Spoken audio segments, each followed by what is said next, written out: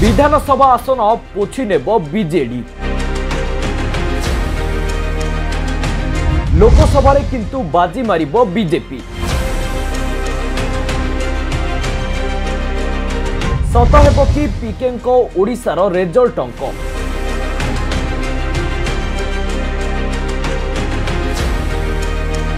ନା ବିଜେଡି ବାଜି ପଲଟି ପୁରୁଣା ଦମ ଦୋହରାଇବ ପିକେଙ୍କ ସବୁ ଅଙ୍କକୁ ଭୁଲ ସାବ୍ୟସ୍ତ କରିବ।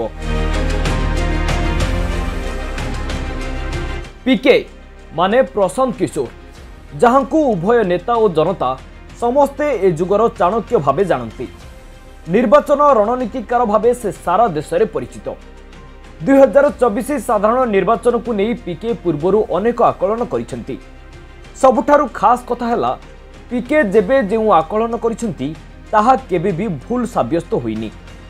ଏ କ୍ରମରେ ପ୍ରଶାନ୍ତ କିଶୋର ଦିନକ ତଳେ ଖବର ସରବରାହ ସଂସ୍ଥା ପିଟିଆଇକୁ ଏକ ସାକ୍ଷାତକାର ଦେଇଥିଲେ। ଯେଉଁଥିରେ ଓଡ଼ିଶାର ନିର୍ବାଚନୀ ଫଳାଫଳକୁ ନେଇ ପ୍ରଶାନ୍ତ ନିଜ ମନର ଆକଳନ ରଖିଥିଲେ।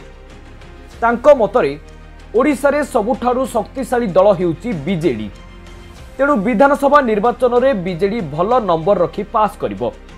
ଆଉ ନବୀନ ପଟ୍ଟନାୟକ ଷଷ୍ଠ ଥର ପାଇଁ ସିଏମ୍ ହେବେ। ହେଲେ ଲୋକସଭା ନିର୍ବାଚନରେ ବିଜେଡି ଏଥର କୁଆଡ଼େ ଝଟକା ଖାଇବ?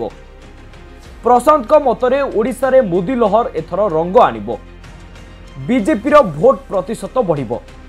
ଏଥିସହ ବିଜେଡି ତୁଳନାରେ ବିଜେପି ଅଧିକ ଲୋକସଭା ଆସନ ପାଇବ। ଆଲୋଚନାରେ ପିକେ ତାଙ୍କ ଆନୁମାନିକ ଅଙ୍କରେ ଦର୍ଶାଇଛନ୍ତି ଦକ୍ଷିଣ ଓ ପୂର୍ବ ଭାରତରେ ବିଜେପି ପାଇଁ ଏଥର ଫଳାଫଳ ବ୍ୟାପକ ହେବ। ଖାସ୍ କରି ନବୀନଙ୍କ ଗଡ଼ ଓଡ଼ିଶାରେ। ଯେଉଁଠି ଗେରୁଆ ଦଳ ଦିନେ ତିଷ୍ଠି ରହିବାକୁ ସଂଘର୍ଷ କରୁଥିଲା।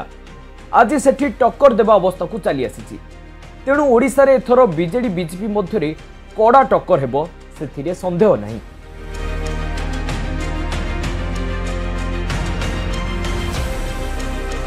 ତେବେ ଦୁଇ ହଜାର ଉଣେଇଶରେ ଏକୋଇଶ ଲୋକସଭା ଆସନରୁ ଗେରୁଆ ଦଳ ବିଜେପି ଆଠଟି ଆସନ ଜିତିଥିବା ବେଳେ ବିଜେଡି ଖାତାକୁ ଯାଇଥିଲା ବାର ଓ କଂଗ୍ରେସ ଭାଗରେ ଗୋଟିଏ ଆସନ ପଡ଼ିଥିଲା। ପୂର୍ବରୁ ହୋଇଥିବା ସର୍ଭେ ରିପୋର୍ଟରେ ମଧ୍ୟ ପିକେଙ୍କ ଦାବି ପରି ଫଳାଫଳ ଝଲସିଥିଲା। ଯେଉଁଥିରେ ଦୁଇ ହଜାର ଚବିଶ ଲଢ଼େଇରେ କଂଗ୍ରେସ କୌଣସି ଆସନରେ ଜିତୁନଥିବା ବେଳେ ବିଜେପି ଚଉଦଟି ଓ ବିଜେଡି ମାତ୍ର ସାତଟି ଆସନରେ ସୀମିତ ହୋଇଯିବ ବୋଲି ଆକଳନ କରାଯାଇଛି। ଏବେ ସେଥିରେ ପିକେଙ୍କ ମୋହର ମଧ୍ୟ ପ୍ରାୟ ବାଜି ସାରିଛି। ହେଲେ ନବୀନଙ୍କ କରାମତି ଠିକ୍ରେ ଜାଣିନାହାନ୍ତି ପ୍ରଶାନ୍ତ କିଶୋର।